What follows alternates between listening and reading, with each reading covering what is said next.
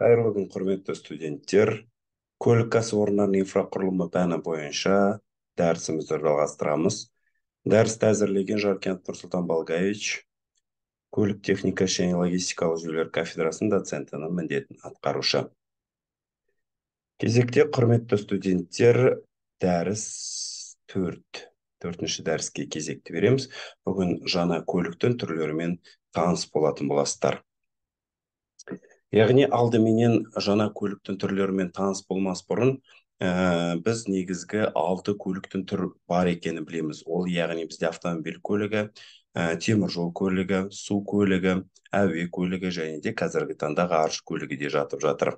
Солардың ішіндегілерді енді біз өтіп оларды білмес бұрын қазіргі таңда жаңа көліктің түрлеріне де кезек беріп жатырмық ең бірінші қарастыратын мәселеміз яғни юнитский стронг транспорт дейді. Яғни сто бұл жеңіл вагондар тіректер арасында қос созылған рельстер бойынша қозғалатын жердегі яғни дәлірек айтатын болсақ жер үстіндегі көлік жүйесі туралы түсінікті айтады. Ол әлі іске асырылмаған және көптеген аспектілерде сынға ұшырады. Неліктен қазіргі таңда ә, бұл көлік түрін қолдануды көптеген мемлекеттер қолға алмады. Өйткені бұл белоруссияда қолға алынған жаңа көліктің түрі болып табылады. Қазіргі таңда skyway компаниясы осы көлік түрімен айналысады. Ә, бұл яғни қазірде сауд арабиясында дубай қаласында кен әзірленіп Э, өзінің яғни рентабельділігін тапқан. Skyway беларусь инженер конструктор анатолий эдуардович юницкий әзірлеген инновациялық көлік жүйесі болып табылады. Суретте көріп тұрғандарыңыздай ол негізгі вагоннан тұрады. Яғни вагон дейміз иә. Осы вагон тіректер арқылы яғни рельс бойымен қозғалады. Келесі көлік түрі яғни бұл жүк тасуға арналған көлік түрі болып табылады. Ә, бұл көлік арқылы яғни өзен болсын көл болсын қандай да бір сулы аймақта бір беттен келесі бетке ә, жүкті тасымалдауға арналған көлік фермобиль немесе фермомобиль дейді дискретті жол бойымен қозғалысқа бейімделген көлік құралы. Көріп тұрсаңыздар яғни дөңгелек ролик арқылы не істеуге болады? бір беттен келесі бетке жылжытуға болады бағандар арқылы. Келесі сіздердің назарларыңызға ұсынатын құрметті студенттер аэробус деп аталатын жаңа көлік түрі. Бұл монорельсті жол түріндегі көлік жүйесі көріп тұрсаңыздар автобустың шанағына ұқсайды. Аэробус жүйесі швейцариялық инженер герхард мюллер ойлап тапқан.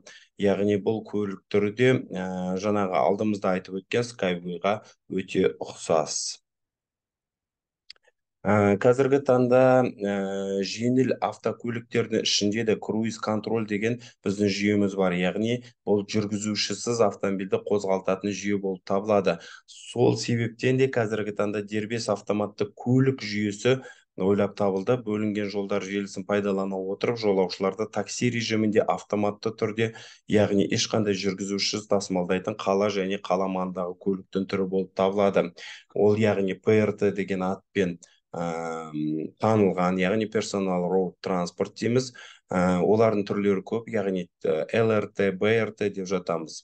Осы дербес автоматты көлікті пайдалана отыра сіз яғни жүргізуші болып атқарған қызметіңізді орындағы кеткен уақытқа басқа да қызметтерді орындай аласыз. Келесі тұрақты көлік немесе жасыл көлік деп аталады. Бұл қоршаған ортаға әсер ету деңгейін төмендетуге мүмкіндік беретін яғни экологиялық ә, көлік нышаны болып табылады.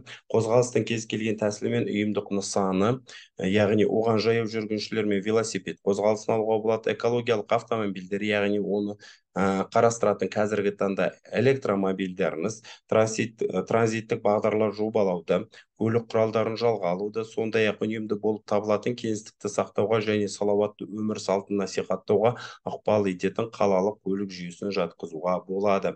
Бұл көліктің бір түрі яғни тұрақты көлік деп жатқанымыз оны пайдалануда экологиялық тұрғыдан қарастыру яғни ауаны ластамау ауа бассейнін ластамау болып табылады. Құрметті студенттер жоғарыда айтылып өткен көлік түрлеріне байланысты сіздерге тапсырма бергімге отыр. Яғни тапсырма мына тапсырмада көріп тұрған суреттерге байланысты оларға анықтама бере кетіңіздер мысалға бірінші жылжымалы құрам ретінде жолаушылар юнибустарды қолданады. Ол қай суретке байланысты айтылған белгілеп кету керек. Келесі машинаның прототипі роликті конвейерлер трек роликтер арқылы қозғалады деп тұр. Үшінші американдық ағылшын диалектісінен аударылған жеке жылдам қаладағы қоғамдық көлік деген анықтамаға суретті қойып кетіңіздер. Құрметті студенттер айтылған тапсырманы орындап орын орнымен қойып шығыңыздар.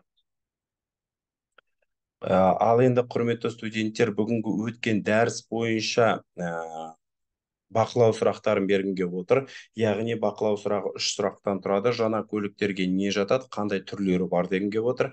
Екінші фермобиль қандай көлік қайда қолданылады. Үшінші дербес автоматты көлік дегеніміз не?